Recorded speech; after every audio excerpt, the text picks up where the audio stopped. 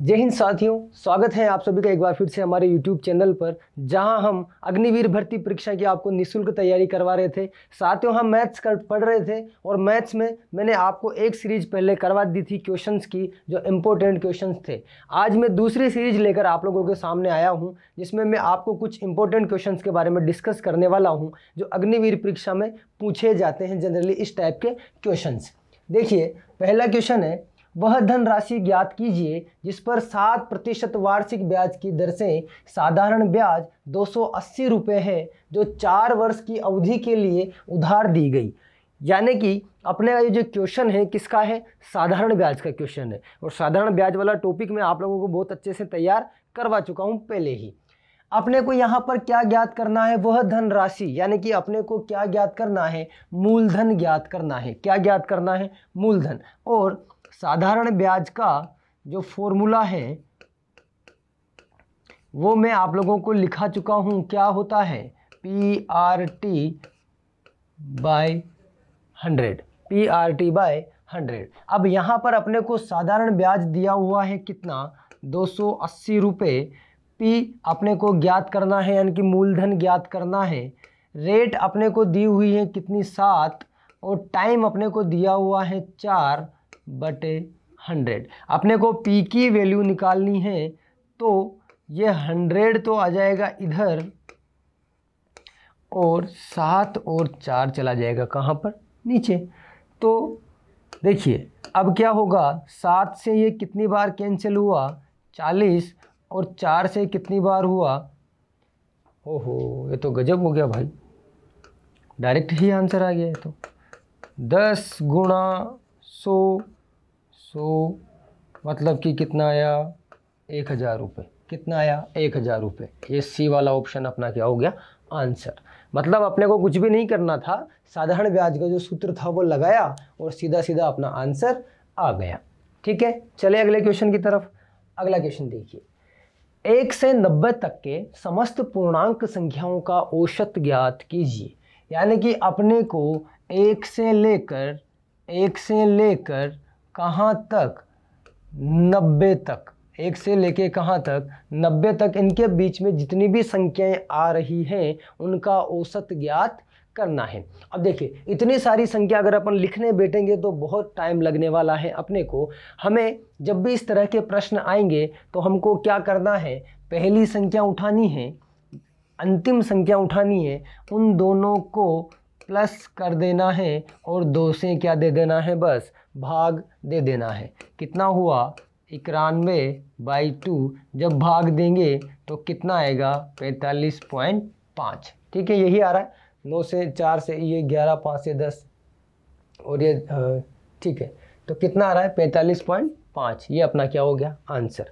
आपको याद रखना है, अगर ऐसे कैलकुलेशन करने बैठेंगे तो नंबर तो बहुत सारे हो जाएँगे, कहाँ तक करेंगे? आपको क्या करना है? प्रथम संख्या लेनी है, अंतिम संख्या लेनी है। उन दोनों को क्या कर देना है? दो से डिवाइड कर देना है। जो निकल के आएगा, वही आप लोगों का क्या होगा? औसत होगा। ठीक है? चलिए। अगला प्रश्न, खाद्य सामग्री का मूल्य 10 प्रतिशत बढ़ गया। खाद्य सामग्री थी, उसका मूल्य क्या हो गया भैया? 10 प्रतिशत बढ़ गया। उपभोक्ता खाद्य सामग्री का प्रयोग कितने प्रतिशत कम करे कि उसका खर्च ना बढ़े? इस तरह के क्वेश्चन बहुत आते हैं एग्ज़ाम में। ठीक है तो आप लोगों को ध्यान से देखना है। क्या हुआ? खाद्य सामग्री का जो है, दस प्रतिशत मूल्य बढ़ गया। तो जो मूल्य बढ़ता है, उसको हम लिखेंगे ऊपर। उपभोक्ता खाद्य सामग्री का कितने प्रतिशत कम करना है, उसको अब क्या करना है? कम। जब कम करना है, बड़ा कितना? दस। तो यहाँ कितना हो जाएगा? 110 और गुणा क्या कर देंगे? 100 अगर आपसे वो कम होता तो फिर यहाँ 110 की जगह क्या आ जाता? 90 आ जाता। बस ख़त्म। ज़ीरो से ज़ीरो गया। कितना आया? 100 बाई इलेवन, यानी कि 11 जब इसको डिवाइड करेंगे तो कितना आएगा? नाइन। एक बचेगा one one. Nine one eleven. तो ये डी वाला अपना क्या हो जाएगा भैया? आंसर ठीक है? ये ध्यान देना है, अगर ये बढ़ रहा है तो अपने को 110 करना है नीचे। अगर कम होता तो फिर 10 माइनस करते। ठीक है? बढ़ रहा है तो प्लस किया, कम होता तो माइनस करते। बहुत बढ़िया। चलिए। अगला जो क्वेश्चन है 16 तथा 18 का चतुर्थ अनुपात क्या होगा? जब मैं मैंने आपको अनुपात, समानुपात वाली क्लास पढ़ाई थी तो उसमें चतुर्थ अनुपात तृतीय अनुपात सबके बारे में बताया था। अपने को इस क्वेश्चन में क्या पूछा है? चतुर्थ अनुपात पूछा है। इसका मतलब 16 इसका क्या पूछा है? चतुर्थ अनुपात पूछा है। 16 और किसका? 18 का। 16 और 18 का क्या पूछा है? चतुर्थ अनुपात पूछा है। चारों अनुपात आप लोगों को लिखने हैं। लास्ट में क्या लिखना है? एक्स लिखना है। कैलकुलेशन कैसे करता है? मध्य वाले और बाद वाले। एक बार आप लोग भी ट्राई कीजिए।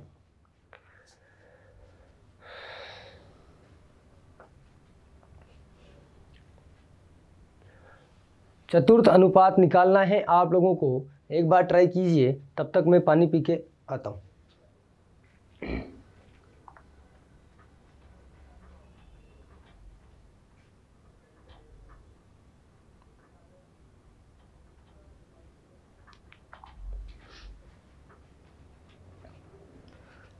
चलिए। सोल, अरे इसमें एक गड़बड़ हो गया। यहाँ बारह भी आएगा भैया। वो बारह नहीं लिख पाए अपन, कोई बात नहीं। बारह, सोलह तथा अठारह का चतुर्थ अनुपात क्या होगा? ये अपने को बोला है। एक कम हो गया था उसमें। तो अपने को क्या निकालना है? बारह का सोलह और अट्ठारह इसका क्या निकालना है? चतुर्थ अनुपात। यानी कि चौथा जिसको अपन ने क्या ले लिया? एक्स ले लिया। अब अनुपात, समानुपात वाला फंडा आपने देखा होगा। कैसे करते हैं? बीच वाले को मल्टीप्लाई करते हैं और बाहर वाले को मल्टीप्लाई करते हैं। तो ये कितना हो जाएगा? बारह गुणा एक्स सोलह गुणा अठारह। अपने को एक्स का मान निकालना है तो ये हो जाएगा सोलह गुणा अठारह, ये हो गया बारह। ठीक है? चार से कट कर दो, तीन टाइम चार से चार और ये तीन से कितनी बार? छः बार। तो एक्स की वैल्यू कितनी आ गई भैया? ट्वेंटी फोर ट्वेंटी फोर है कहीं पे? ये रहा। ये ट्वेंटी फोर अपना क्या हो गया? आंसर। इसमें एक बारह कम था, इसलिए हो सकता है आपका आंसर थोड़ा गड़बड़ हो रहा हो। गड़बड़ क्या हो? ही नहीं सकता, है ना? चलिए।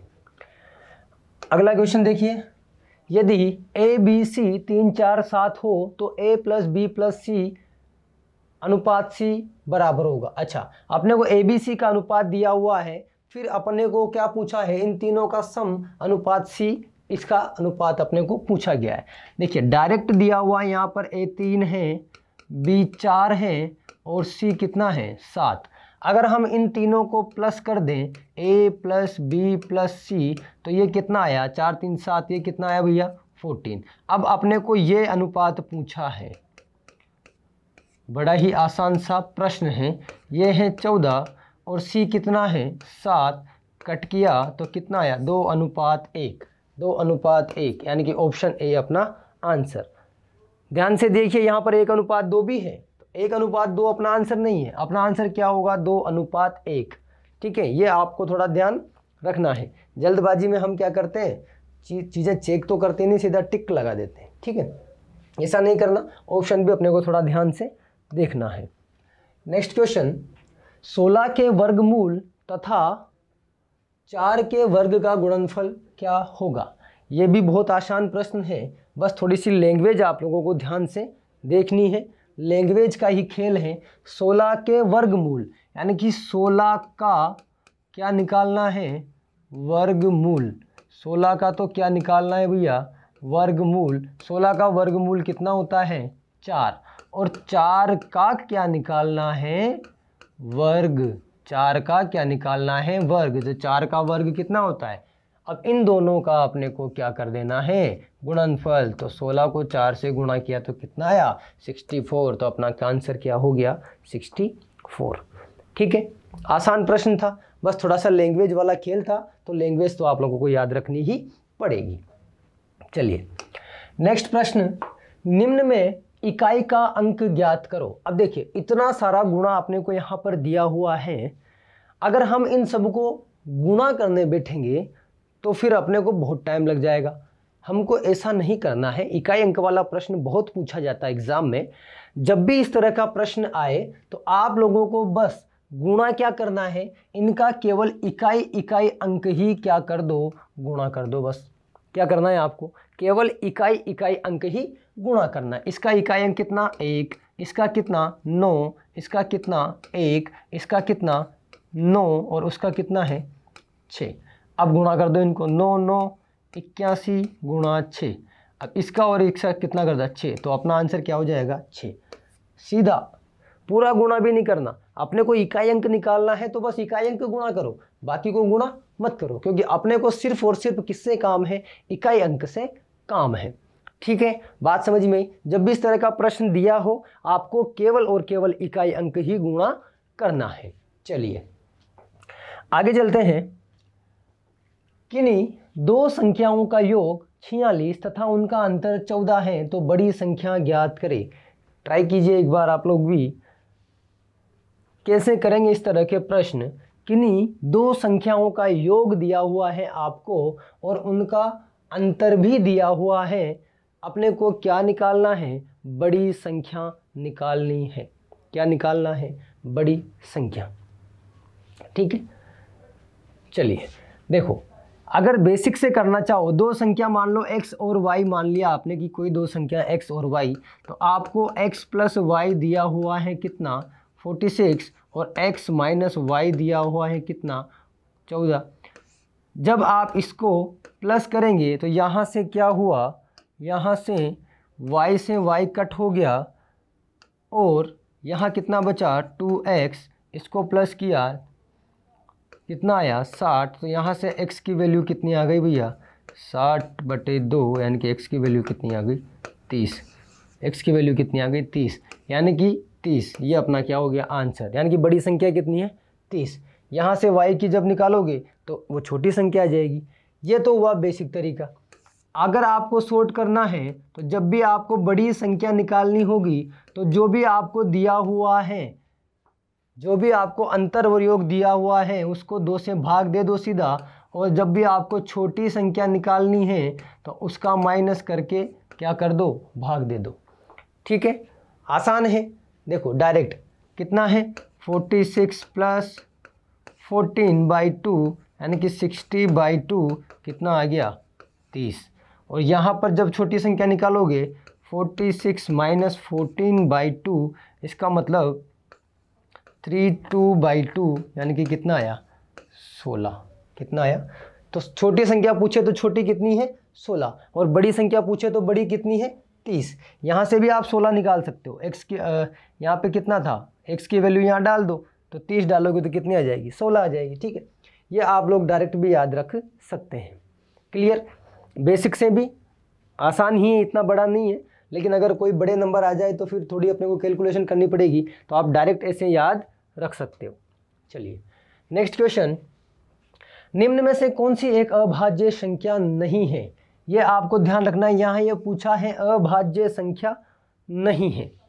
ठीक है? इसका मतलब अभाज्य संख्या नहीं है मतलब वो क्या होगी? भाज्य होगी। ठीक है? बताइए क्या होनी चाहिए? इन चारों में से क्या होनी चाहिए? जो भाज्य है।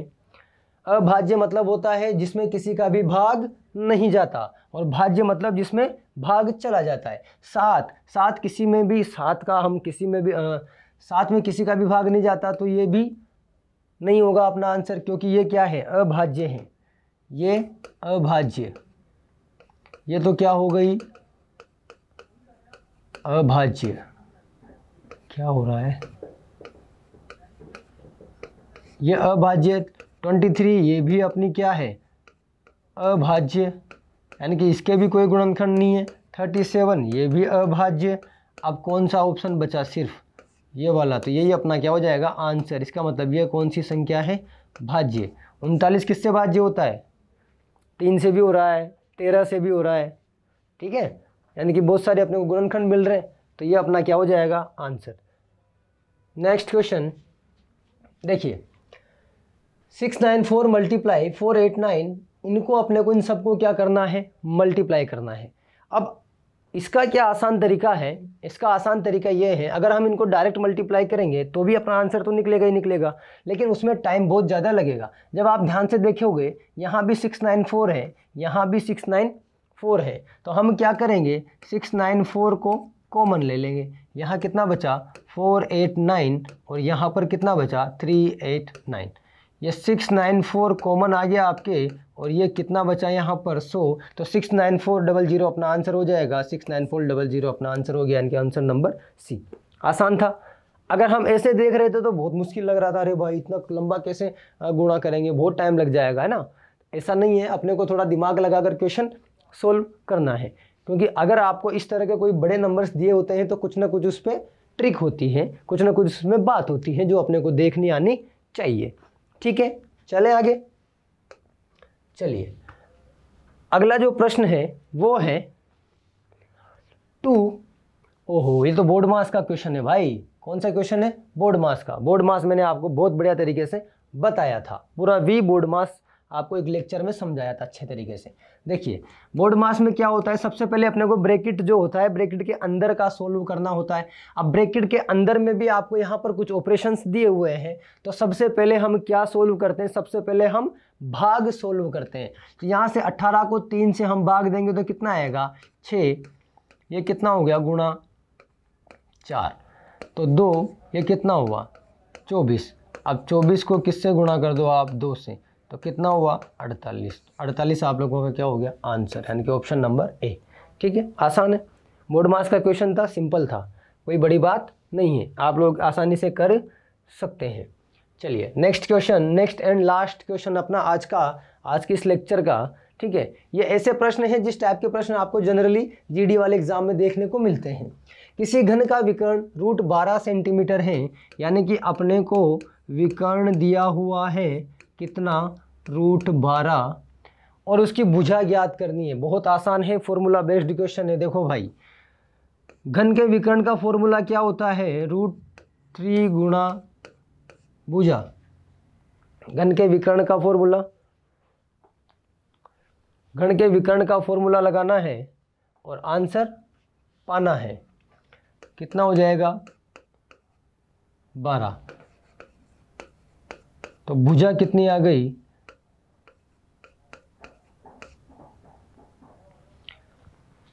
Root three. अब ये अंदर चला जाएगा तो कितना हो गया? यानी कि रूट फोर, इसका मतलब कितना आया? टू। कितना आया? टू। तो भुजा कितनी आ गई? टू। ख़त्म। आसान था। यानी कि अपने को बस फॉर्मूला याद होना चाहिए था। फॉर्मूला याद है तो अपना आंसर आ जाएगा। क्लियर ये हमारे जो इम्पोर्टेंट क्वेश्चन थे, जिस टाइप के प्रश्न आते हैं, वो हमने डिस्कस किए। और भी कौन कौन से टाइप के प्रश्न आप लोगों के लिए एग्ज़ाम में जो पूछे जाएँगे, वो जल्द ही हम आप लोगों के लिए फिर से हाजिर होंगे। एक नई फिर से श्रृंखला लेकर, तब तक के लिए आप लोग अपनी तैयारी जारी रखिए। आपको आने वाले एग्ज़ाम के लिए बेस्ट ऑफ़ लक अच्छे से एग्ज़ाम दीजिए और पूरी ऊर्जा और सकारात्मकता से एग्ज़ाम दीजिए। तब तक के लिए जय हिंद जय भारत मिलते हैं अगले वीडियो में बेस्ट ऑफ़ लक